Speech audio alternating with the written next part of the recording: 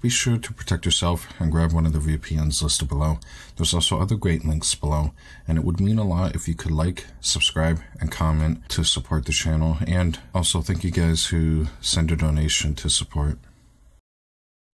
What's going on, you guys? Today I'm going to be showing you how you can access a USB device that's hooked up to your Android box. So if you want to move files over there, uh, movies, TV shows, whatever it may be, pictures, uh, because when you use ES File Explorer, it can be very picky on what it sees.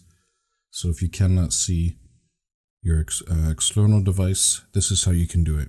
So you're going to go to the, the link in the description and download uh, FTP server. You can look it up on the Play Store. So I'll do that really quickly to show you which version to grab.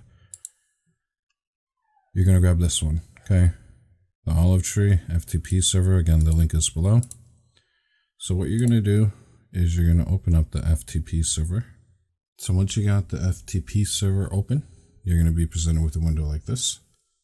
You're going to go to settings, network interface, and you're going to put this on all, or you're going to pick the interface that you're using. I'm using Wi-Fi. You're going to leave this checked. You're going to check show hidden files. And then you're going to come down the home directory. You're going to click and you're going to pick custom folder or you can pick external SD. If external SD does not work, pick custom folder. It's going to open up a window like this. You should see your drive here. You're going to pick it. You're going to go to select in the bottom right hand corner and you're done. You're going to back out. You're going to enable this. And then what you're going to do is you can use Window Explorer or uh, like I'm going to show you right now. I'm using FTP or FileZilla, and I already have the info in inputted. You're just going to hit connect, and there you go. So you can access your your card here. So as you can see, I'm on the I have a external drive hooked up, and you can create a file. So we'll name it test uh. Okay, and then you could disconnect it Okay, so obviously it's going to knock off the server on the computer. And to see if that file went through, you can open up ES File Explorer.